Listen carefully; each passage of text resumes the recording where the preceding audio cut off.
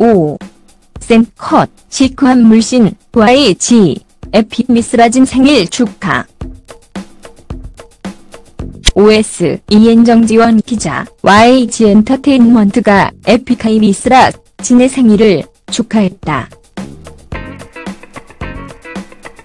6일 0시 YG 엔터테인먼트는 공식 블로그에 미스라의 생일을 축하하는 이미지를 게재했다.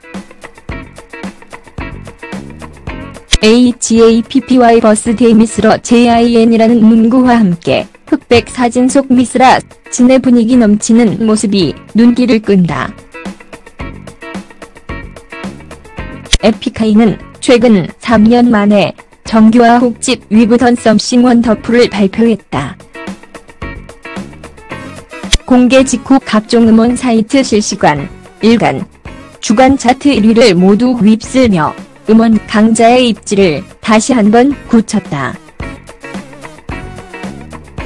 에픽하이는 현재 해외 투어와 여름 콘서트 브랜드 현재 상영 중 시즌 3을 구상 중이다.